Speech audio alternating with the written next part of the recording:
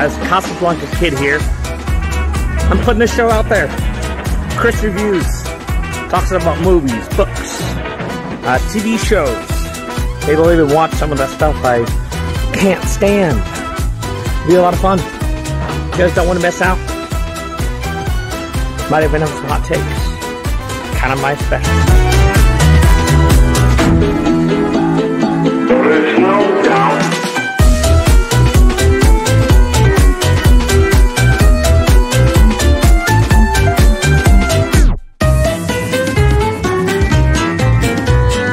Hey guys, fresh review. I just finished watching uh, the movie Lightyear on Disney Plus with my wife, and both of us loved it. Like it was one of those movies that surprised the hell out of me. Like I liked the trailer didn't give everything away, uh, and I ended up loving it. Like I know that this was one of those movies that drew a lot of like strong reactions. Like it was either like I hate this movie or I love this movie, and I absolutely loved it. Like I thought it was that was great. The writing was solid. Um, the music from Michael Giacchino was freaking incredible. Um, and I probably know I slaughtered his last name, but pretty mind blowing. He did that in the Batman score, which was phenomenal. And I know he's done lots of other music as well for movies and stuff.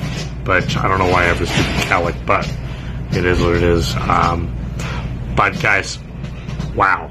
Seriously, ignore the hate and everything else. Guys, check it out for yourself. It's on Disney Plus right now.